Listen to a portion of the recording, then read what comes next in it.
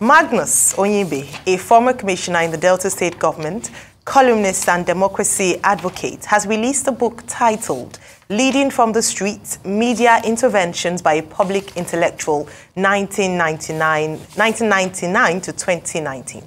The book is a compilation of compelling articles written and published in the mass media by the author Magnus Onyibe between 1999 and 2019, spanning the entire range of Nigeria's socio-economic and political life. The foreword to the book is written by General Yakubu Gowon, former head of state of Nigeria from 1966 to 1975. He says the book is in order to help guide policymakers in their work of policy formulation for the good of Nigeria, Africa, and the world at large. Joining us now for a book chat on Leading from the Streets, Media Interventions by a Public Intellectual 1999 to 2019 is the author, Magnus Onyibe. Good morning and welcome to the morning show. Congratulations on your book. Uh, thank you for having me. Well, congratulations. Thank you. this is the fourth or fifth book? The fourth. Oh, okay. You are not doing badly at all. The fifth is in the making, actually. Uh, like the other ones. you know, Yes. this is very well produced. Thank you. Congratulations. Thank you very much, Doc. Well, first, let's start with your introduction. I see you are very optimistic about the impact, the influence of public intellectuals and public opinion. I think there's a book on the subject, Public Opinion and Democracy, and how public opinion influences uh, policy. But part of the challenge we have had in this country is that sometimes, you know, those of us in this business, uh, you know, the commentariat, we, we tend to feel that government doesn't listen. And that you know all these pieces we write you know every every week you know there was a time i was writing two 3 every week. Uh, and you have done over 1000 pieces over a period of 20 years 77 articles in this uh, uh, book. But i see optimism at the beginning you were giving examples of certain opinions you expressed uh, that seem to have made impact and influenced uh, certain persons, government, political parties. Are you really that optimistic that people really re- uh, listen and take what we write seriously? They do. In fact, it just happened. Only yesterday, uh, the president approved uh, the demand over a very long time for state police.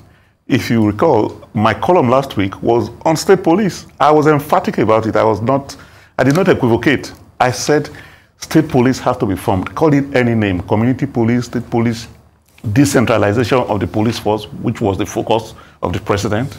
And uh, I was pleasantly surprised that yesterday happened. And if you recall, it was after that piece, the governors of uh, PDP came together and went to make a presentation and insisted on state police and whatever. So it just added to the, uh, uh, the um, advocacy that we've been making, you and I, and the rest of the people who uh, um, push the pen from that perspective, that there should be state police because it's their job. That's what they are trained to do. That's what the Constitution assigns them. But the military, since 1966, when they came in, they decided to emasculate the police because police was the biggest threat to them. They're the largest arms carrying organization after the military. And so they, they, they dispowered them, if you don't mind, whatever. You know, they made sure they didn't have the means to be able to counter them in case those they removed from power, politics, were go- going to rally around them and ask them to push. So that has uh, affected us. That has uh, led to our inability to really be able to police the system. Because if state police comes back as they are planning now, look, the forest, for instance, if you remember back in, the, in those days, we used to have forest guards. The forest is now occupied by the marauders, by the bandits. That's where they take the victims to. We have experience, whatever, you know, of what has happened over the years. But now, if there's forest guard, they will occupy the place. There won't be Sambisa. Sambisa will be inhabited by forest guards, and it will not be a no-go area. You know, so those are things that we should have done a long time ago. You know, but they keep creating the fear. Oh, the state governors will take it over. They use it to do this. Based on experience, there's nothing that we have expressed fear against that has happened the way we feared it would happen when it happened. Let's take, for instance, back in those days, we're saying, oh, you can't have ATMs. You know, Nigerians just go and cut, carry the thing and take all the money in it and whatever, you know. But we have had ATMs for a very long time and nothing of that sort has happened. So we always fear the unknown. We, we don't want to take risks. That's why you also see Africans, they don't dare to go to the moon or go to anything that they don't know. They create all sorts of magic about it and whatever, you know. But in reality, these things don't happen if we are bold enough to take on these responsibilities or go on those routes. All right. Uh, the book is in seven parts and very interesting topics, especially as you, as Dr. Abati already highlighted, 77 articles out of over 1,000 in 20 years. But let me start with part one. Mm -hmm. Found that quite intriguing. Started reading the preface and going into parts. And reading these articles we wrote in 2007, 2015 seems as if I was reading an article written for today, especially as it has to do with democracy, government, and governance. Mm -hmm. In fact, one obviously caught my eye, which is Are elections giving democracy a bad name in Nigeria? And you wrote this in 2015, mm -hmm. but if you had written this this no. year, uh, last year, you'd have been apt. Mm -hmm. I like you, you know, based on this. I mean, the afterword was also given by Dr. Olisa Agbakoba, mm -hmm. SAN. Your thoughts? How do we move away from? I mean, I know this book doesn't look to provide a solution, but to get people to think and to go down history lane in some parts, in some areas. But your thoughts on elections giving Nigeria a, oh sorry, Nigeria giving democracy or elections in Nigeria giving democracy a bad name. Yes. How do we move away from that? So that perhaps when you write the next article, it's a different story from what we had in 2015 mm. and what we had in subsequent years following that. Mm. I think we, we, all know what uh, it would take to do that. Uwais committee report was very clear. It was succinct on what we should do. But we only adopted one or two or three things out of it. The rest we dumped. So we know what to do. We talked about recently about uh, um, uh, election malpractice commission. We know it's desirable. But they dumped it the last minute. Except this review that they're planning to do now, they will take all this in. We have to be altruistic. We all know the solutions to these things. We're just beating about the bush, you know, not wanting to do them. I mean, we, we know that these things work in other climes, and we know what they're doing. We can learn from them. Even, you know, as we speak right now, the issue of insurgency and banditry and whatever, we know what happened in Brazil not long ago. We know what's going on in Haiti. We know what's going on in Venezuela. And we know how they dealt with these things. We just have to borrow a leaf. The whole of South America is full of, you know, this stuff, or wars, you know. Some have now, uh, you know, gone down. But in some states, it's still going on. They are tackling these things. You know, but we know what to do, but we're playing politics because we're not altruistic in what we're doing. We're waiting for somebody that will be uh, altruistic eventually. We, we, we hope that maybe in the second term, of uh, President Tinubu, and he will realize that there's no need to play politics, and he will want to leave uh, some legacy because it's usually in the second, term that these people do these things. You know, because in the first term you're selfish, and you know you you say if you do certain things that are really fundamental, you know you may not get re-elected, and you play some games. But in second term, it's only your party that you're concerned about. That somebody wants to take over from you, maybe saying, "Ah, please, if you do this." do this and you jeopardize my chance. You know, but if you really want to leave a legacy, you say, hey, okay, fine, look, I really want you to come, but you know, we have to change the game. And they'll do something. Some, we, we, can, we can be better than we are. We have the capacity, but we just, you know, are not doing it because we're not uh, altruistic enough. Well, many of the issues treated in the book have refused to go away. Yeah. Ethnic nationalism, mm -hmm. corruption, and the unending fight. Mm -hmm business, economy, and all of that, you know, these issues remain the same.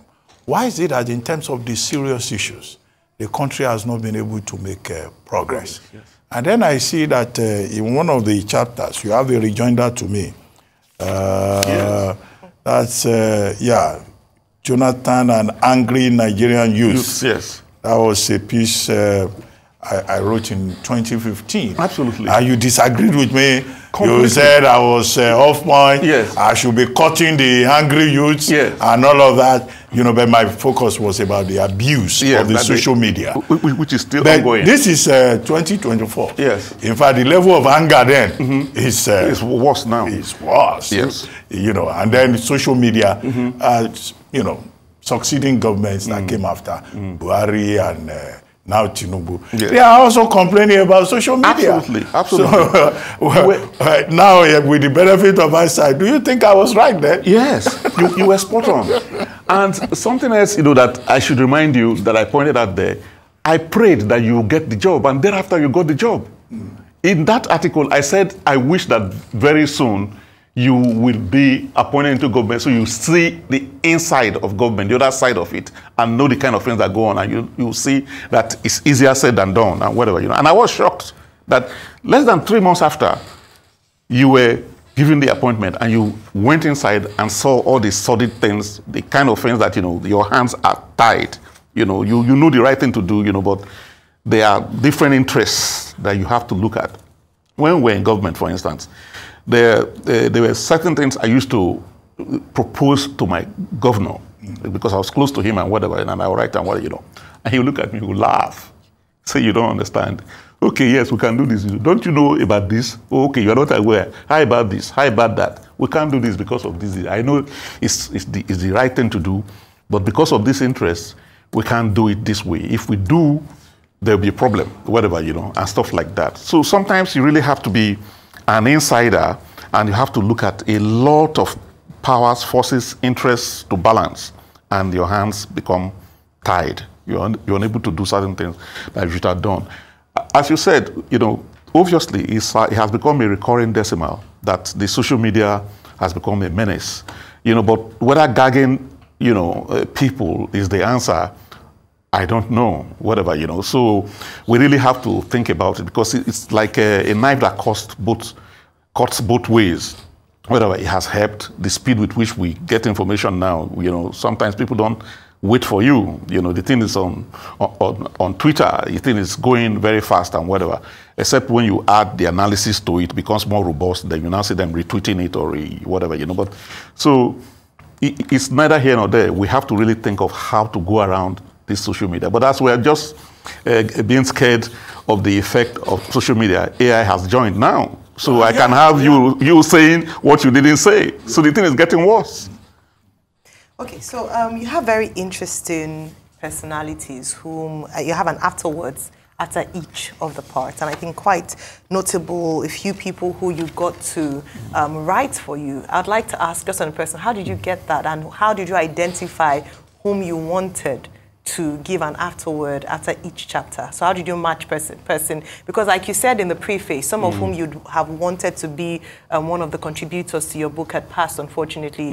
Um, yeah, Alhaji Balarabe Musa, you talked about that, him. Alhaji Lateef um, Jakande, you talked about him. So I'd like to know, and I mean, a number of praises from some you know, key people in society. How did you select these people? Why did you choose them to, and pair them to their um, respective afterward? Yes, that's why it uh, took almost seven years for this book to be ready.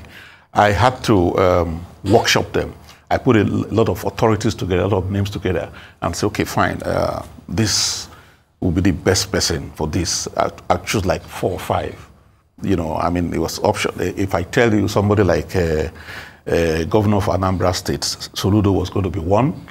You know, uh, last minute he changed his mind, and some people have asked me a few questions. How did you get somebody like uh, Sheikh Gumi?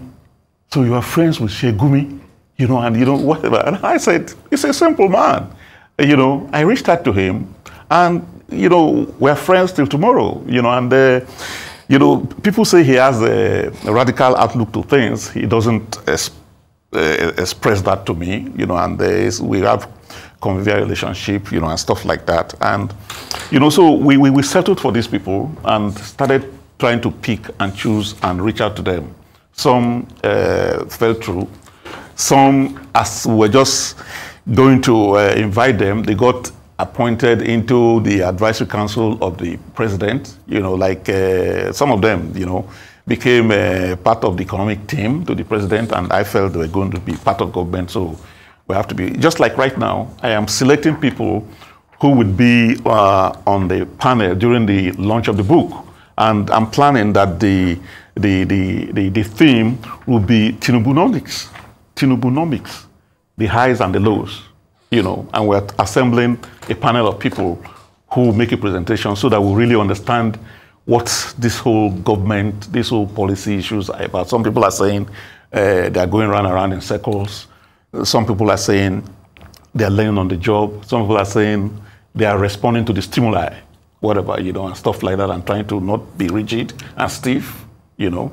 And, uh, you know, you know, so we, we, are, we assembled this panel of people, people from government, people outside government and we'll see how we can see what's working and what's not working you know and uh, you know so we we workshop it we look at different people with relevant competencies and put them together as far as i'm concerned this book looks like the only one that has an afterword writer for each chapter you know so it's uh, unique and it took us time to really uh, do that most of the people who were on board and deboarded eventually are going to read this and say, okay, fine. They also see people who replaced them.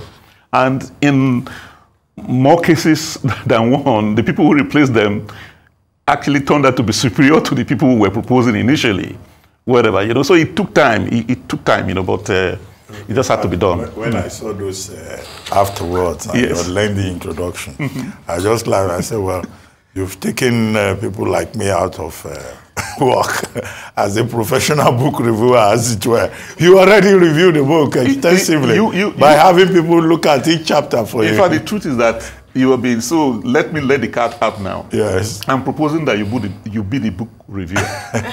you know, so that's actually the truth. Depending on my schedule. Mm. But let me ask you. Now, this book, quite a volume. It's about uh, how many pages? Let me see. It's 620. 614. 614 pages. Now, how much is it? Where can we get it? Because it's, I mean, it's well produced. It's one thing to produce a book. It's another thing to put it in people's hands. Mm -hmm. If you do public presentation, mm -hmm. well, maybe some people will buy copies on that day. Mm. But the thing is to get the ideas yeah. out there. Yeah. So how much is it? Where is it available? How can we get copies? You're absolutely right, Doctor the, the book is very expensive to produce now because of the cost of things. Ideally, you know, what most publishers were doing, we're going to India to publish. But right now, we're doing well in Nigeria. If you feel the hard copy, this was done in Nigeria. The hard copy is better than the soft copy. The hardcover is very good. I thought it was uh, maybe Singapore. Exactly, exactly. Yeah. That's what you would have done, you know. But so it's here. It's been published and uh, the print came out just only last week.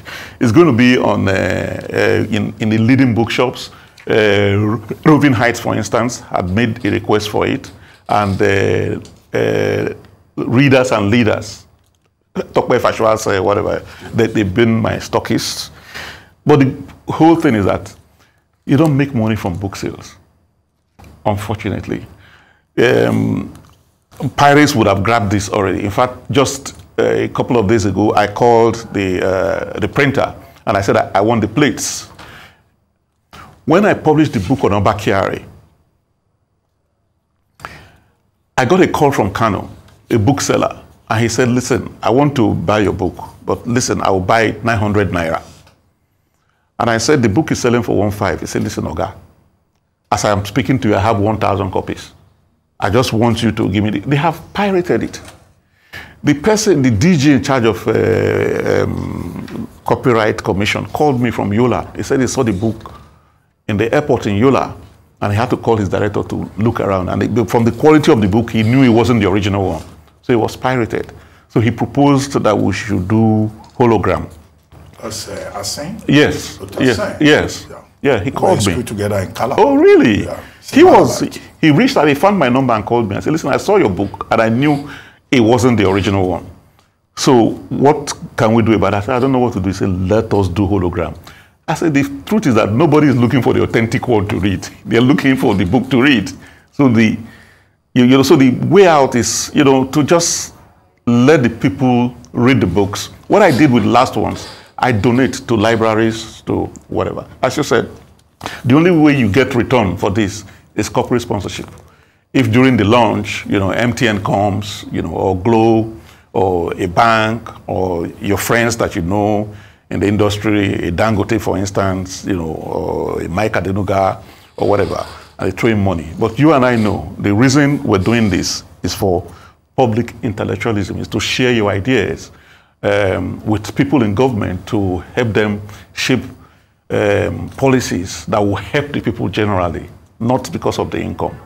Yes, if it's published on Kindle and Amazon, you get a few bucks there, twenty dollars, you know, whatever. And if you push it, you know what to do, push it where you know you get some money. But probably, if you're lucky, you get what covers the cost of the book. You know, but you you you are you are uh, satisfied when you go out and you meet people that debate the ideas that you raised in there, just like you do as a columnist. Whether when people talk about what you are spoken about, or when people watch your program and they see you somewhere, they say, "Oh, are you yes?"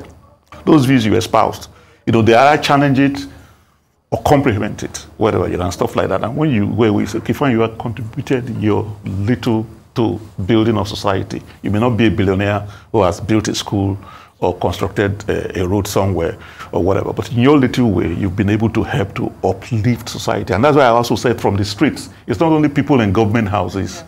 You know, in, at the state level or federal level or in uh, commanding heights of businesses that help you in your little way, sitting down here, you are influencing society whatever, people who lead, two or three or four or five people, you are influencing them and you're leading. You know, so in churches, in mosques, anywhere you have people that you influence, that you're in charge of, you're whatever. So let us put our hands together on deck to see what we can contribute collectively. It doesn't have to be only those who are elected or who are appointed to public office or who have the privilege of establishing business or inheriting one from their parents. But piracy is definitely something government needs to deal with, yeah. either with book production mm -hmm, or with any cultural mm-hmm, product. Mm -hmm. But before we begin to round up, please, I, I would like you to be on record that what I have is a, is, is, a, is an autographed copy. Yes, yes. so that everybody will see it, no. that you autographed my copy. I feel honored to do this. Uh, Thank you very much. Mm. Thank you. All right, so leading from the streets, media interventions by a public intellectual, 1999 to 2019 by Magnus Onyibe, with forward written by General Yakubu Gowon, GCFR, Nigerian head of state, 1966 to 1975. Brilliant. You So I'll definitely give you mine and yes. once we're done, and just so that you can also autograph it as well. Thank you very this much. This is my honored. original copy as well. yes. Thank you so honored. much. Thank you very much. I appreciate it. Thank you for having me.